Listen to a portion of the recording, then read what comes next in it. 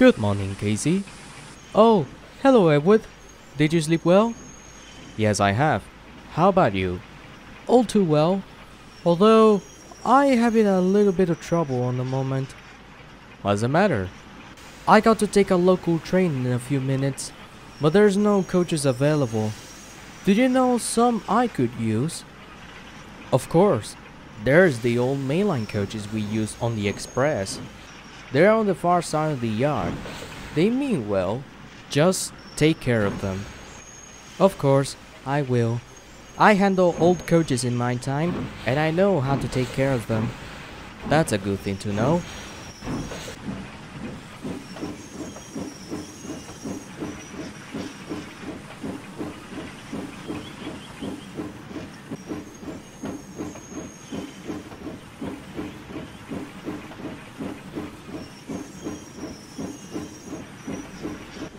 That's odd.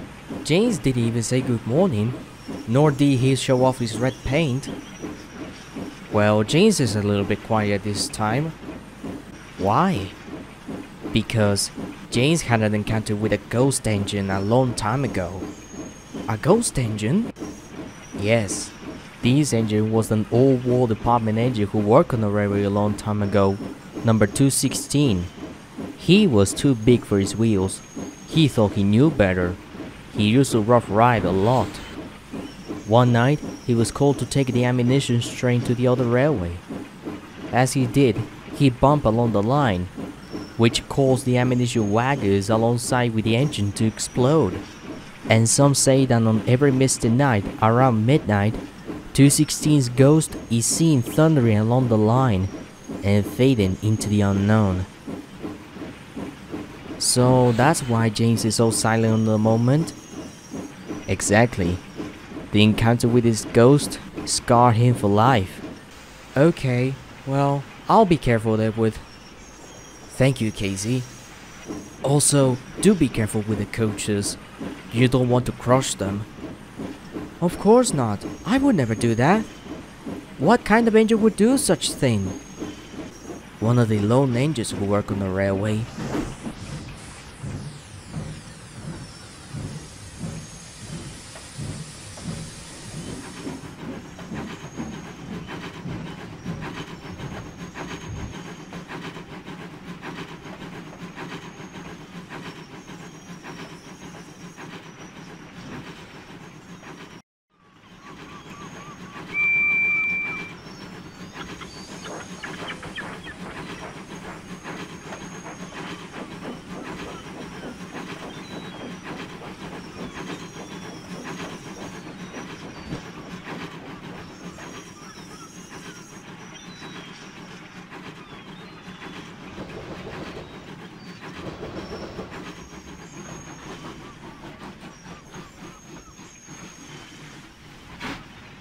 Hmm, those must be the old coaches Edward told me about.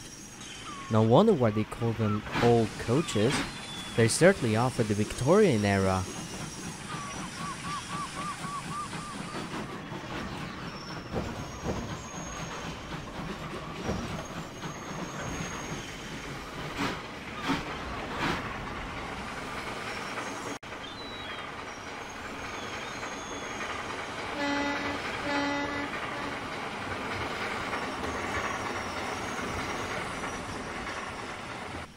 Morning, Casey.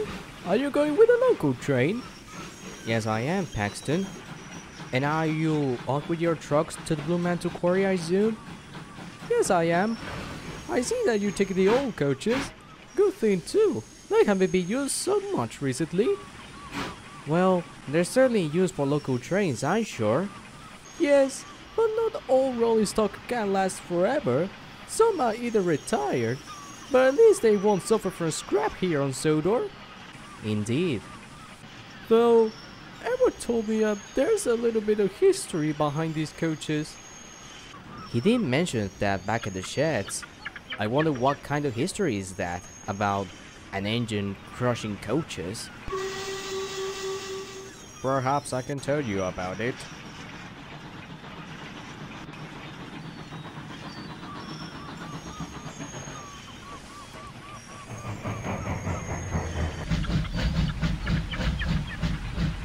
Good morning, Casey.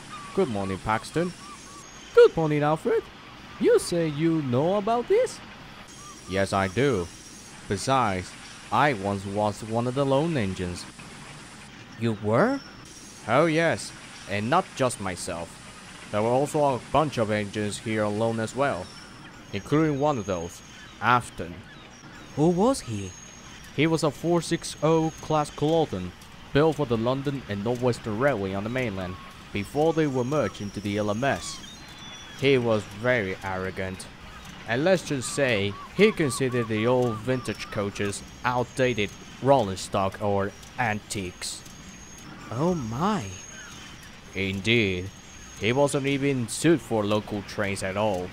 Not after he crushed one of the old coaches. He was the engine who crushed those coaches?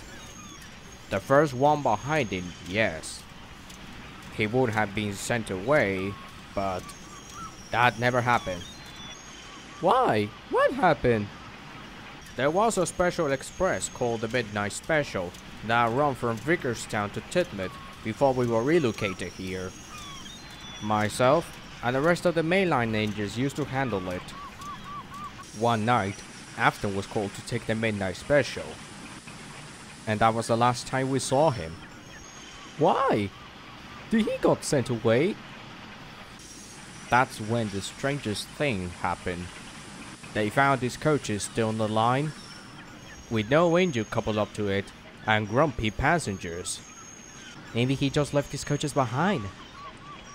We thought that too, but we searched up and down the main line, but we never found him.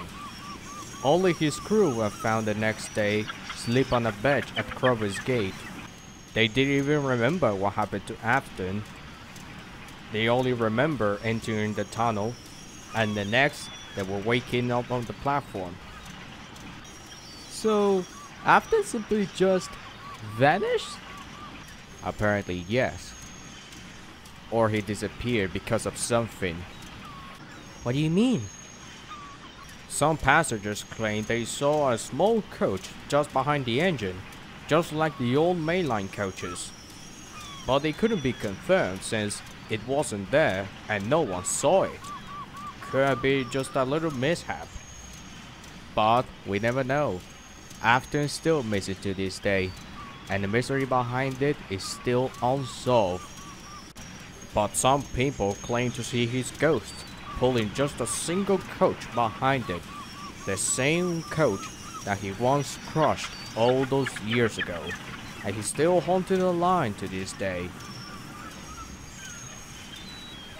My word! Now that's a story to tell. I know. Alfred, you don't personally believe it, do you? To be honest, Casey, I don't know if believe it or not. I'll admit, I'm a good engine. I can be a little bit grumpier and don't stop for nonsense. But the supernatural, like ghosts or otherwise, is something I just simply can't put my bumpers on.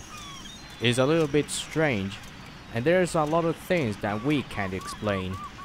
Like after for this matter. I understand. Anyways, I need to shunt my vans away. I'll shunt it for you, Alfred. Just leave it there. I'll handle that a little bit before I go. Thank you, Paxton. Take care of the line, Casey. Thank you, Alfred.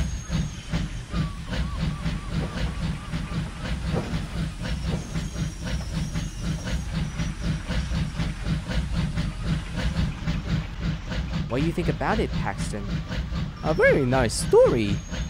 Though, about that someone like Afton existed?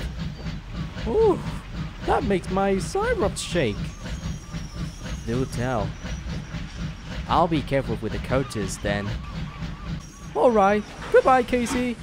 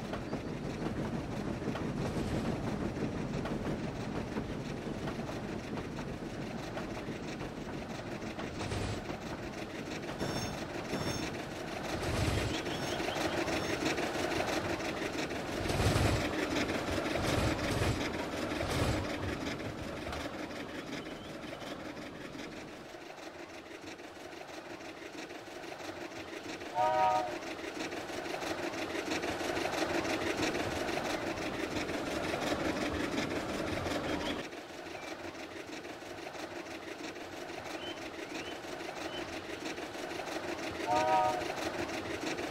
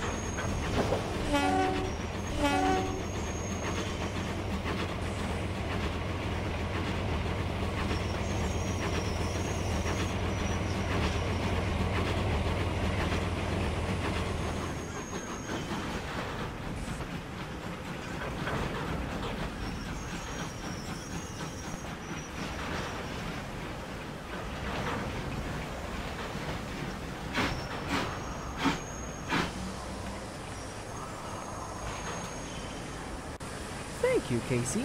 That was a very smooth ride. You're welcome. I say, you were a bit quiet through the whole journey. What's the matter? Is it about the stories? Yes, and even the one that Edward told me back at the sheds about an engine number 216, Lou himself. Ah, yes, we remember that engine all too well. He wasn't even allowed to touch us. Some War Department engines are suitable for passenger trains. Good riddance. I can understand that. I once served the war effort back in the day, but it would never be as rough as that. Oh no, you won't, dear. Believe me, you are one of the kind, just like Edward and the rest of the other angels on this island. Oi, Casey, please stand by. James is coming with his train and he needs help. Of course, sir. What's the matter? Your injector has failed? Yes. Luckily, BoCo was able to tow me here. Is the least I could do. Besides, this is not the first time your injector fails. No, it isn't. Well, don't worry. I'll handle it for you. Thank you, Casey. You might as well meet Timothy there. Thanks.